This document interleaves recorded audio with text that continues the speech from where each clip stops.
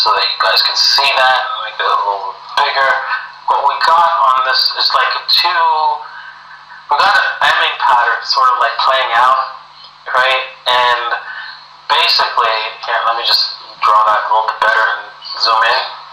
Basically, the market's kind of smiling at you, and when the market smiles at you, it's ready to take your money. So,